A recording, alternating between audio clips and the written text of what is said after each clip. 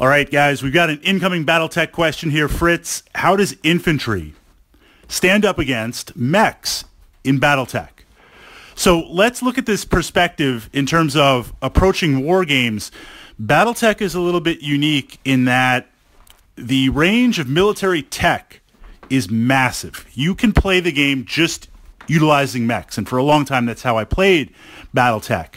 But then you can jump into combined arms, where literally you have, of course, mechs being king, dominating the battlefield, very, very, very powerful. But at the same time, tanks, missile carriers, artillery, infantry, air support, um, a lot of different military units acting in unison. And uh, in the narrative, certainly the battle mech is the, the pinnacle of technology, but infantry have a role to fill. And depending on the location of the planet and the resources, there might not be any mechs present at all. It might just be vehicles and infantry, and there's an invasion of mechs, and that's what you're going against. This creates something interesting in BattleTech where, like other war games, for the most part, you have a battle value. This is a numeric rating of how potent and how powerful something is. So if we agree to play a, a 4,000 or 5,000 point battle value game, I have, I've spent that on all infantry. I've spent that on just vehicles. You could go all in on just mechs. You could combine different assets on there. So in looking at that, battle mechs are broken up into light, medium, heavy, and assault type class mechs starting out at the lower tonnage and going up to the higher tonnage. For the most part, the higher the tonnage, the bigger the mech, the more internal space for armor and weapons. But it cuts down on jump ability, speed, and movement. So if we look at a medium mech. So not a light mech, which is used for recon and skirmishing, not a heavy mech, which is a brawler, not an assault mech, which is just here's the tip of the spear, here's the primary assault. If we look at this idea that a medium mech is the workhorse, good balance of uh, good matrix mix of armor, speed, jump capability, and weaponry, depending on the mech, it's about around a thousand, 1,000 battle value looking at infantry, there's different classes of infantry, and we'll, we'll delve more into that in a moment, but this foundation is important if you're thinking about the aspects of the game. On average, infantry will be anywhere from 50, 60, 70 battle value points. So how can something that's going to be, let's say, 60 battle value go up against 1,000 battle value? A lot depends on tactics, reach, and location. So the way mechs work is when you shoot at something in BattleTech, you start with a base. It works off of a 2d6 system. So essentially your spread is from 2 to 12. You begin with your gunnery skill of the mech or the, the tank commander. And that gunnery skill, you add to it certain modifiers. What's the range? of the attack. Obviously, long range is harder, short range is easier. Are there any movement modifiers? How fast is this target moving? Is there terrain? Is there cover? And you arrive at a number that you have to equal or beat. So you roll the dice, you miss, you miss. If you hit, then you roll on a chart to see based on the facing. If it's a mech, you could hit the left arm, the right arm, right leg, left leg, center torso, left torso, right torso, and of course the ubiquitous headshot on there and you scratch off the armor bubbles. When you don't have any armor left, it goes to internal, and now it can damage critical components, weapons, ammo, the engine, the gyros, and it, it kind of blows through there. So a mech can take a lot of punishment with that. Infantry don't have armor in BattleTech. They have a number value based on the size of the infantry platoon. So let's say you have an infantry platoon size of 30 men when you take a hit, the damage that the infantry absorb, you start removing men. Not off the stand, but just kind of going down a checklist. And when you get to zero, the unit is gone. As you lose men at certain points of the losses, the damage output decreases because it represents obviously um, less mass attacks. Infantry and battle tech does not represent one single like laser attack on there. It represents an entire group of of soldiers, of infantry um, shooting missiles, shooting lasers, you know, essentially like bring it down, where a mech has a, a, a large laser, it's shooting one single large laser on there. So infantry health, the size as it goes down. Now infantry by itself, you start with the base infantry. It's not mechanized. It's not jump infantry. It's literally just here you are. Welcome to the Planetary Defense Force. And here's your laser rifle, your machine gun, your short range missile, your long range missile on there. Uh, there's a couple of different weapon configurations that you can have.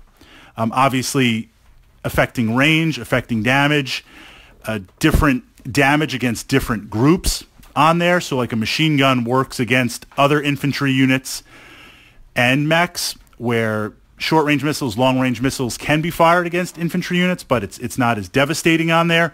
So you look at the role and the weapons and what you want to provide. So that changes the battle value a little bit. So you start with a core battle value. How big do you want it? It goes up a little bit more based on the weapon. Then you can decide, do you want it to be jump infantry?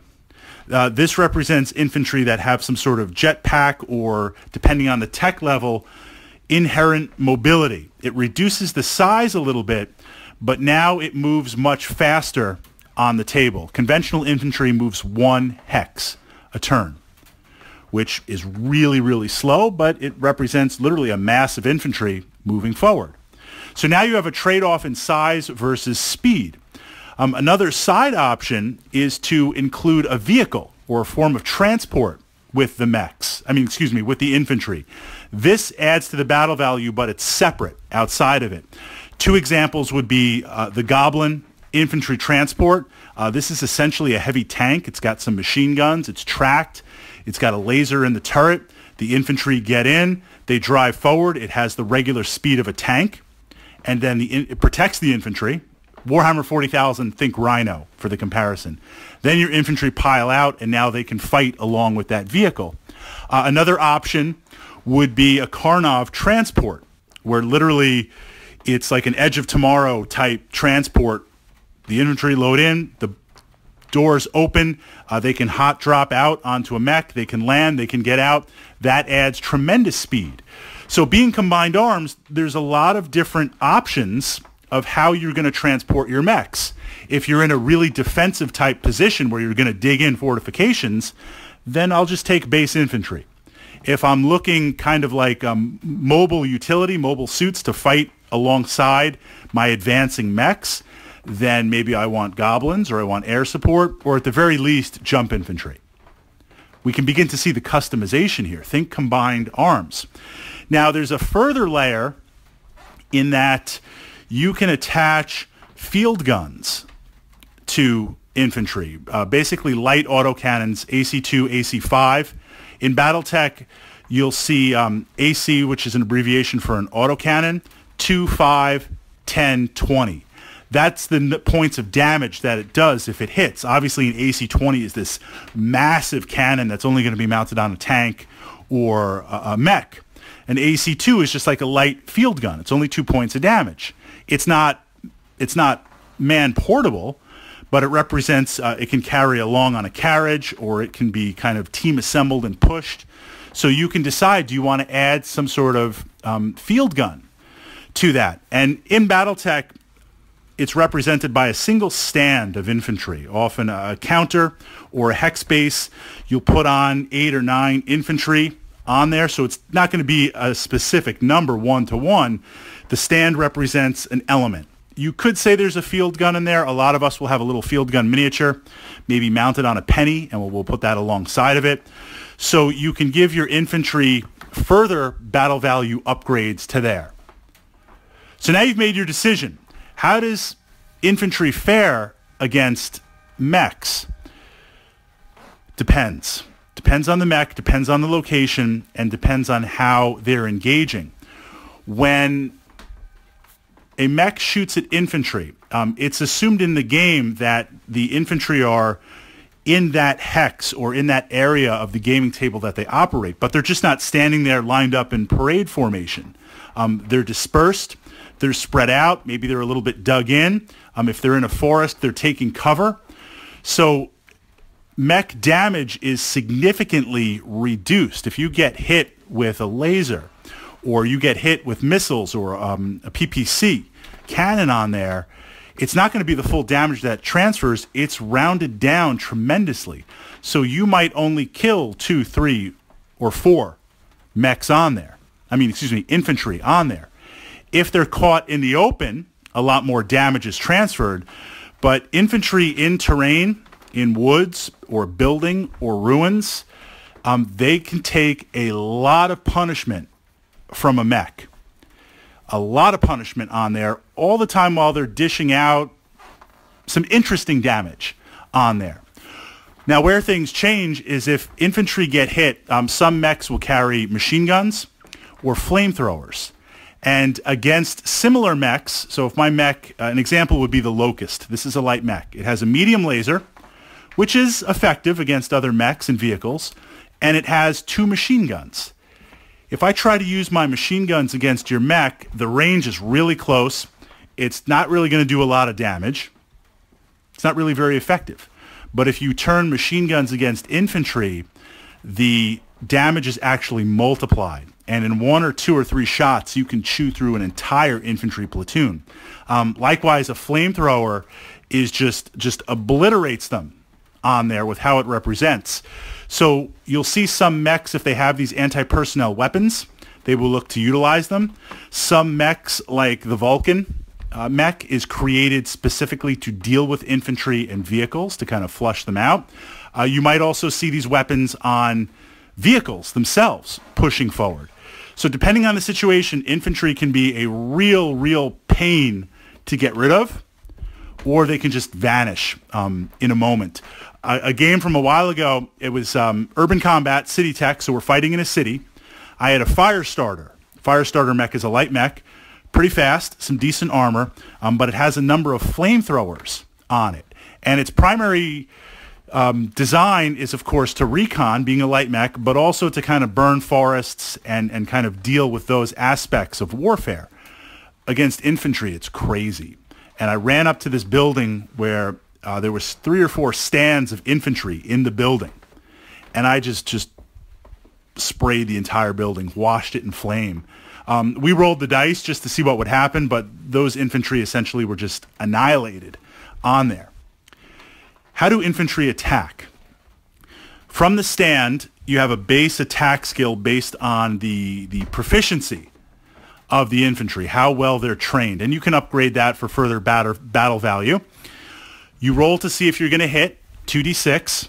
Uh, of course, modified by range, modified by if the mech is moving.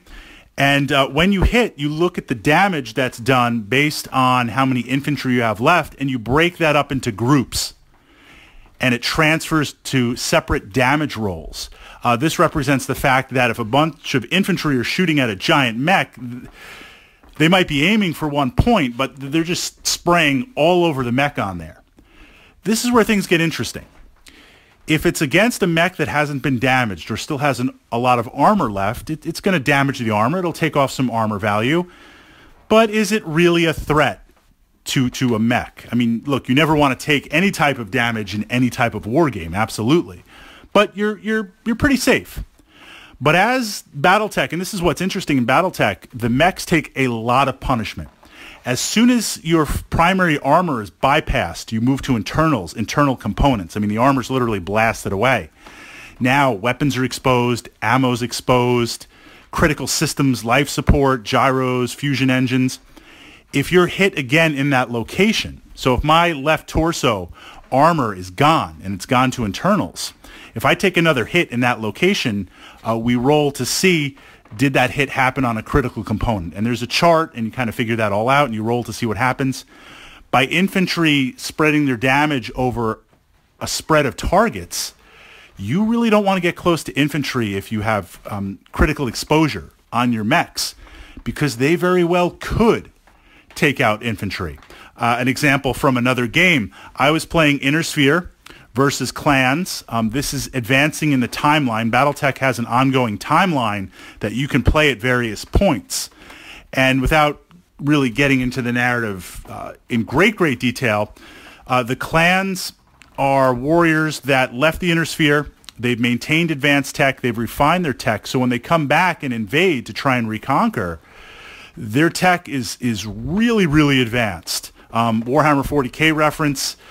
Uh, think you're playing Imperial Guard and your opponent plays AdMech. You know the Mechanicus has all the secrets, all the tech, all the toys. So my mechs were going up against clans. Uh, the clans have tremendous firepower. There was a, a vulture mech, which has good laser support, good missile support, and and I had managed to damage it into one of the internals and it's running past two groups of infantry that I had. And the infantry are just spraying it. And I was able to score an internal hit and literally destroy and explode the mech by chasing it down with infantry. So in the right circumstances, dug in, motivated, um, infantry are absolutely worth the battle value. Two side notes where infantry work really well also to be aware of tactically. They make really, really good spotters on the table. In Battletech, with your long-range missiles, um, you can shoot directly. So I, I, can physically see the target. It's long range. I fire those missiles. Long range missiles can also be um, fired over indirectly, kind of on an arc. So if I know a target is behind something, meaning if you're behind a building and I can't see you, but another unit of mine on the table can see you, uh, that unit through communication, you know, radio, Vox, um, vid communication, whatever it's going to be, can signal in and tell my other mech or unit, hey, there's actually uh, something behind this building. Here's the rough coordinates and fire. Of course, there's penalties and, and the shot is much harder to make. But if you take a Karnov air transport, load up a stand of infantry, fly them in, turn one, drop them off in some cover on a high vantage point, they literally set up shop, set up base, and, and are radioing in coordinates for indirect fire. Really interesting. Uh, the last part of infantry, the swarm attack. This is do or die. The command is given to literally move into the base occupied, move into the hex occupied by a mech and start attacking the mech's legs uh, with explosives, with demo charges, with just um, lasers and missiles, it's a lot more potent and a lot more damaging to the mech. You can swarm vehicles. You can drop in with a Karnov, and I do this all the time. It's insane, the modifiers, but the motivation is there. You fly in two Karnovs, they're loaded up with infantry. You open those bay doors, fly over a mech, give the command, drop the ropes. You drop hundreds of men onto a mech they're now swarming on the upper parts. So you're rolling on a different chart where you can literally blow through the head of a mech. And uh, what's interesting is the mech can try to shake them off. If the mech has hands, it can literally try and slap them off. Uh, in a last game, I swarmed the clans, uh, clan mech, and a lot of the clan mechs are ranged, so they don't have hands. They have arms, but often there's weapons in each hand. So I swarmed this mech. It might have been a vulture too, or a mad cat. Uh, no hands. So how are you going to get the infantry off of the mech?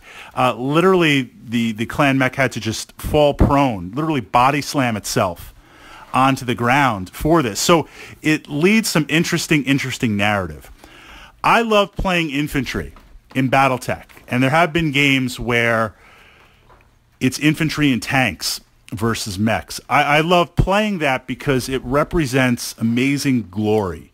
Here we are thousands of years into the future, the pinnacle of battle tech technology, um, literally knights of a golden age, and they're not brave, right? They're just they're not brave. Men are brave. You know that that immortal quote on there, and and in my opinion, uh, Ben Affleck is the best Batman that's out there true to the Dark Knight comics, he made Superman bleed.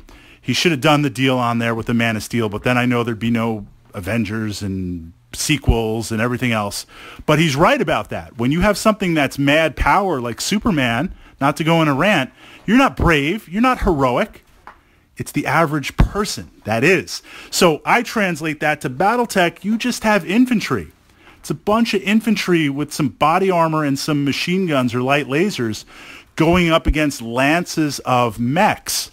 And the, the, the heroic, especially in a city fight, when a mech is destroyed and it's broken and it's smoking and you've got your infantry swarming on top of it, planting that flag, uh, that's a narrative I really can't resist on there.